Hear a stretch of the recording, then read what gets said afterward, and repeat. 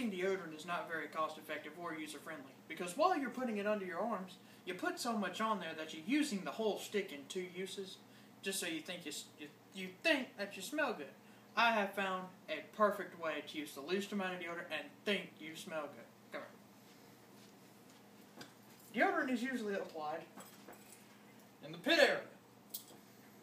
But what do you use to smell yourself when you think you smell good? Your nose.